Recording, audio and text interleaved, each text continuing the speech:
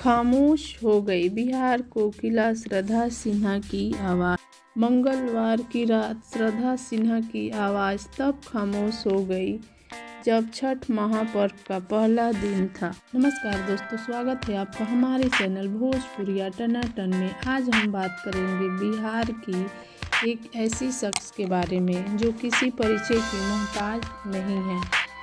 जी हाँ दोस्तों, आज हम बात करेंगे श्रद्धा सिन्हा जी के बारे में, जिन्हें सब बिहार की कोकिला के रूप में भी जानते हैं।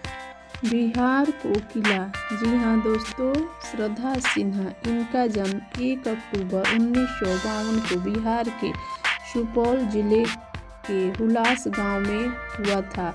बचपन से ही इन्हें संगीत में गहरी रुचि थी।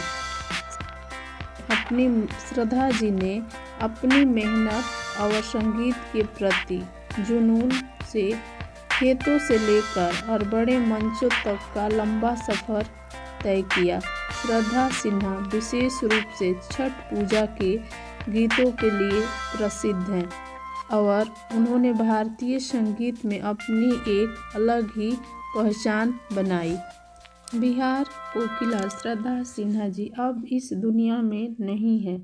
उनका दिल्ली में निधन हो गया है। श्रद्धा सिन्हा आज जिस मुकाम पर पहुँची थी। वो एक दिन की मेहनत का नतीजा नहीं था। इसकी यात्रा बिहार के एक छोटे से गाँव हुलास गाँव से शुरू हुई थी। पहले पिता का सपोर्ट मिला, फिर पति का। दोनों साथ पाकर श्रद्धा जी ने संगीत की यात्रा बढ़ती रही। छोटी सी उम्र में श्रद्धा सिन्हा ने संगीत की दुनिया में जो कदम रखा, वो पहले धीरे धीरे और फिर इतनी तेज़ी से आगे बढ़ा कि उनकी प्रसिद्धि पूरी दुनिया में हो गई।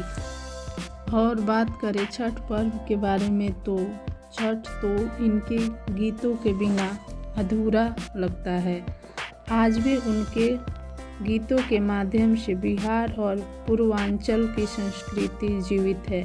श्रद्धा सिन्हा जी का योगदान लोक संगीत को सुनने और समझने में अनमोल है। आशा है आपको हमारी ये जानकारी पसंद आई होगी और हमारे चैनल भोजपुरिया टना टन को ज़रूर सब्सक्राइब करें और इस वीडियो को लाइक करें, शेयर करना बिल्कुल ना भूलें। तो मिलते हैं अगले वीडियो में।